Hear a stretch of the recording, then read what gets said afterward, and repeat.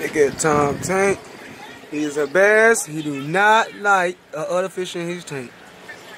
But he's a weird old fish. He like clean water instead of dirty water. So I just put fresh water come out of the hose in there. And he lives. Such a strong fish. Look at him swim for baby. Hey bud.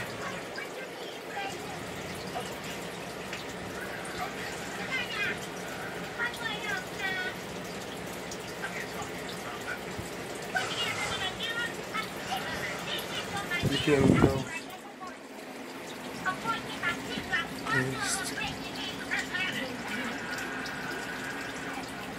got them there.